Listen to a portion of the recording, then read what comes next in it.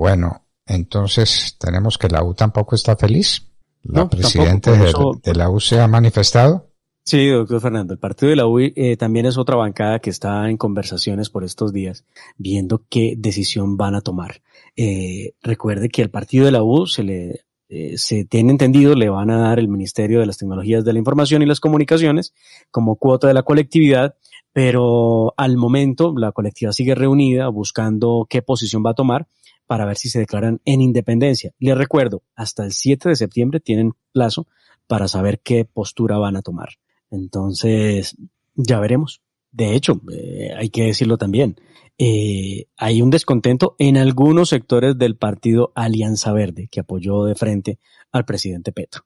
Está difícil, el tema de mayorías está muy difícil. Y más si después del 12 o 13 de septiembre empieza el debate en las comisiones conjuntas de la reforma tributaria que no está causando mucha eh, buena impresión. Y si esto se suma, doctor Fernando, el descontento de, las, de la sociedad por cuenta de las invasiones ilegales que han crecido enormemente, eh, pues vamos a ver qué va a pasar. Además, ya nos cuentan a nosotros al oído que en algunos sectores del país, sobre todo en Cauca, hay gente que está diciendo, pues invadimos y no nos vamos. ¿Qué van a hacer? Qué difícil lo que provocaron.